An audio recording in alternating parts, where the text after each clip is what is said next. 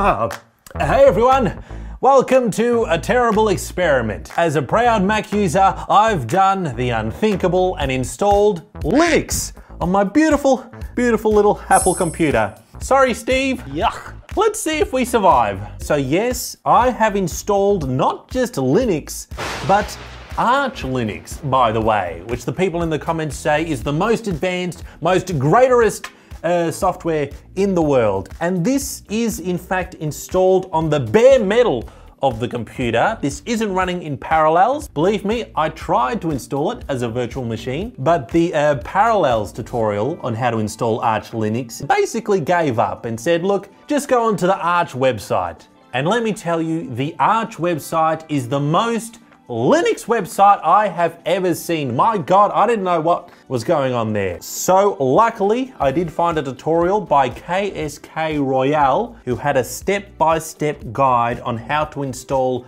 Asahi Linux, which is basically just Arch Linux but made a little bit simpler. But even then, I was sweating my pants off. It involved many weird terminal commands. It had a pre-boot thing going on. I almost pre-booted my pants. Luckily, the Kitai helped us out and crapped Arch Linux right onto this computer. So follow along people at home, especially Linux users, and tell me everything that I'm getting wrong. But apparently it's best to use the Wayland version of a session. I thought Wayland was a, a, a, bit of a tough guy to get along with, but he was living life on hard mode, and so is using Arch Linux. Logging in.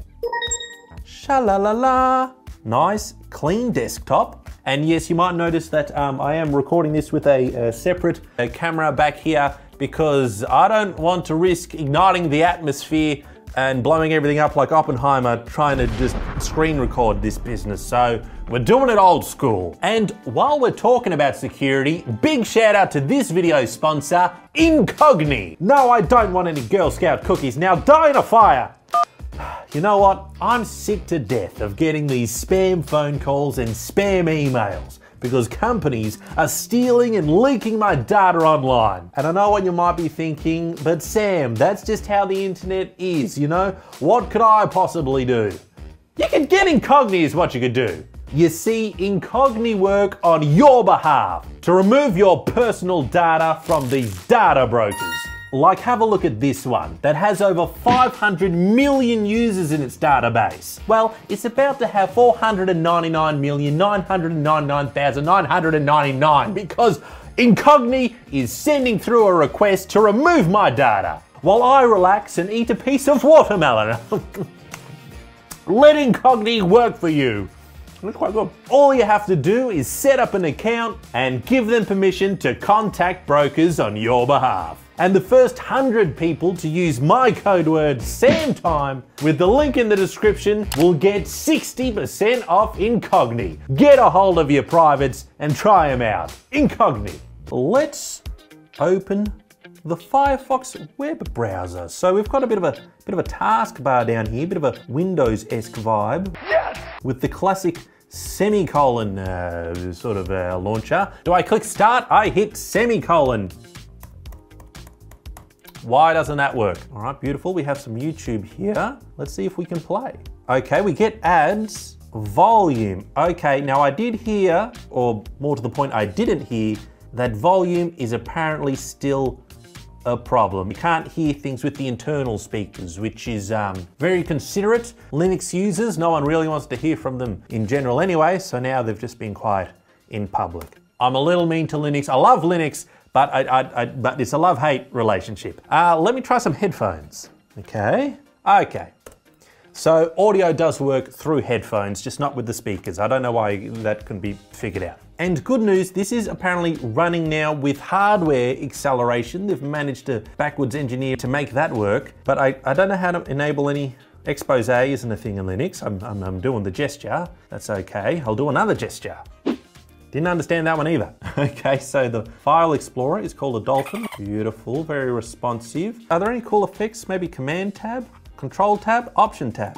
Oh, oh, interesting. Okay, I don't know how to make it look cool. That's what every Linux guy says to himself. I don't know how to make myself look cool. Contact with a K. Oh, so it's a contact book. Here are my contacts. I have no one. Here's my calendar. Oh, now doesn't that look lovely? That doesn't scream nerd at all. Let's have a look at the App Store. Discover currently cannot be used to install any apps. the App Store can't be used to search for apps or install apps because Linux. Okay, thank you. Because none of its apps backends are available. what are you doing with the app's backends? What dirty Linux is this? When people say Arch Linux, by the way, do they mean it's some sort of innuendo, some sort of sexual maneuver to do the arch? Ooh. You can use Pac-Man to catch little boars and run away from ghosts. To install the optional dependencies, oh, this is just lovely. Here's the thing, Linux. I know I'm using the most complex of all Linuxes. But instead of a learn more button, why don't we program a fix it button? Or better yet, just fix it in the first place. Why can't an app store open apps because it wants to look at people's butts? But apparently there are apps here, like a fresh app. I, I, I don't want to break things. I don't want to break things too much. I just I just need a uh, like a writing app. Would that be under pages? Graphics page, network status, a KTurtle. Do I want a KTurtle? Simple second degree equation solver.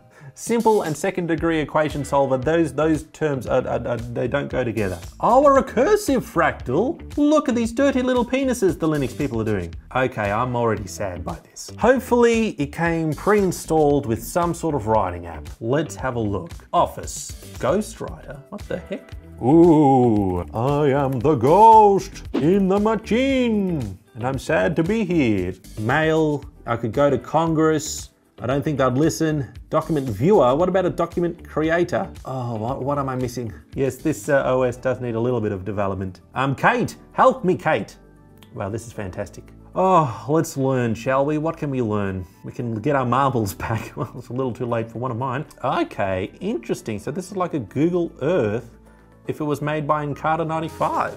Let's, oh, oh, whoa, Montenegro. Is that politically correct to say? Well, how about that? It comes with Linux maps installed. Historical map. You can go back in time and look at a historical map. cool. Did Australia... Uh, half of Australia didn't exist according to history. Damn it! Bring it back. Bring back Australia. That is not an option. Games, yes. Oh, finally. Here's the Pac-Man I needed to install games. okay. Well, guys, uh, uh, should, should we make the game the size of an ant? All right, so let's find out how we install apps. It's said to use Pac-Man, but with terrible graphics. oh, shit, there's Oppenheimer. We're gonna blow up the atmosphere. Delete, cancel, get out of here. Oh, all right, let's try KGoldrunner. Play. Oh, why put this boring text box over everything? Come on. Is not fun. Oh, don't have multiple things. Just let me play the game. Oh, why do I have to get a law degree just to play the running game? You've pressed a key. Oh, it comes with paint. it looks just like the old Microsoft paint. Hello, Linux. Actually, let's just keep it at HAL. That's where I feel like we are right now. Falkon web browser. Oh, Falkon is a free and open source web browser developed by KDE. Whoa! Wow, for such a cool animal, it's such a boring application. Ah, recorder. Let's see if we can record with the inbuilt microphone. Hello, hello. Can you hear? Can you hear? Can you hear me? Mm, tell you what, so far I'm incredibly impressed. Pulse Audio Volume Control. That is too cool of a name for such a boring app. Oh, look, the silence makes a noise. That's so cool. I don't think it I don't think it understands how silence works. Info Center. Welcome to the Info Center. We're using up two gigs doing something, I don't know. Energy. How do I get more energy? Oh, well, I see why it's called the energy page. It's pulsing with power. Look at that. Oh, dark mode. Okay, now things are looking cool. Workspace behavior. Well, is this telling the computer what to do or telling me what to do? Oh, this is the most boring explanation of everything I've ever seen in my life. It makes me want to invert. I think I might invert. Oh, I better not do that or else I might die. Mmm, this is, this makes my head sad. User feedback.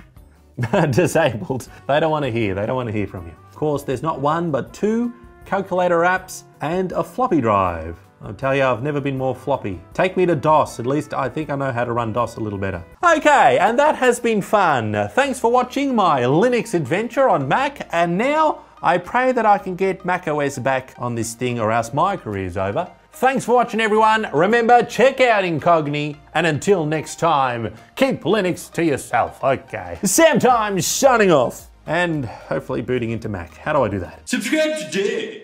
So we're Oppenheimer, we're collecting the uranium, we're dodging the Nazis. Stop peeking at desktop. I click this button and it tells me off. It says stop peeking. Hey, you're the one who wanted to sniff butts. Come on. Okay, uh, how do I get help for this help app? Mm.